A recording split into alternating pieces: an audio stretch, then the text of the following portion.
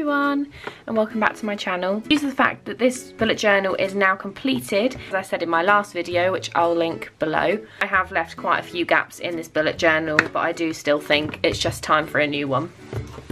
This time I decided to go for the actual official bullet journal. I don't know if you'll be able to see it, but it's actually ingrained on the front. I've gone for black. I promised myself I'd go for a colourful one, but you know what? They're always out of stock. Black ones are just really easy to come by. I really liked my grey one, just gotten a bit bored of the grey. So I'm really excited to get started on my black one. It's currently a completely blank slate. I haven't even opened this yet.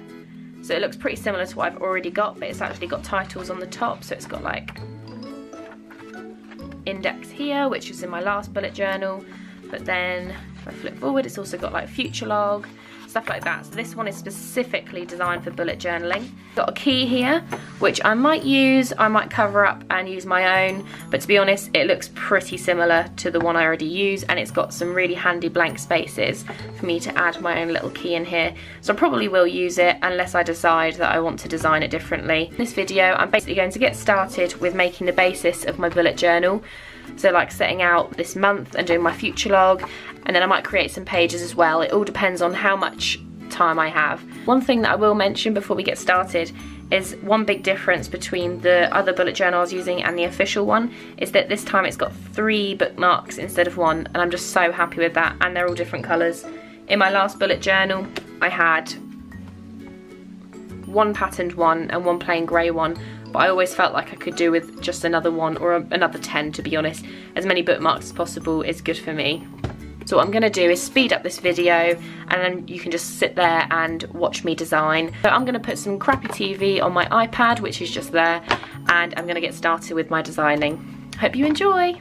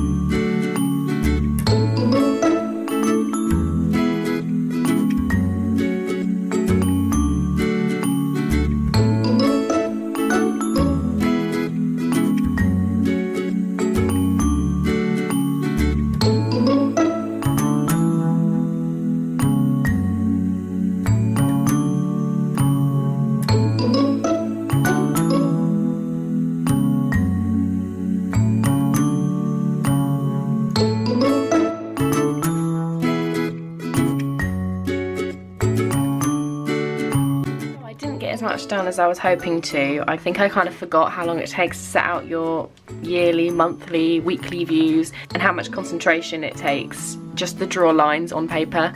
It sounds ridiculous, but trust me, once you get started, you'll see exactly what I mean. I mean, I'm drained right now. I'm gonna make another video in the future to create my collections, so please let me know if that's something that you'll be interested in. I really hope you enjoyed this video and hope you enjoyed seeing how I'm gonna be planning out my year, month, and weeks so far. If you like this video, don't forget to give it a massive thumbs up. Make sure to leave a comment below if you have any questions or if you have any suggestions for me or if you just want to chat about bullet journals. And don't forget to subscribe if you haven't already.